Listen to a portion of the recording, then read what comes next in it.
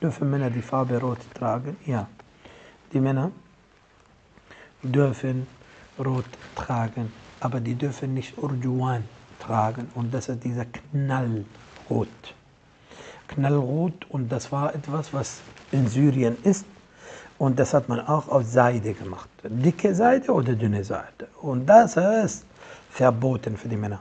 Der Prophet selber hat ein at at يعني بارك الله فيكم. رو تستوى بان قحب صلى الله عليه وسلم.